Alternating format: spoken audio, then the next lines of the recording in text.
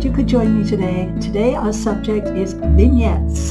Vignettes are probably best used when you're wanting to look at a certain small section of a landscape.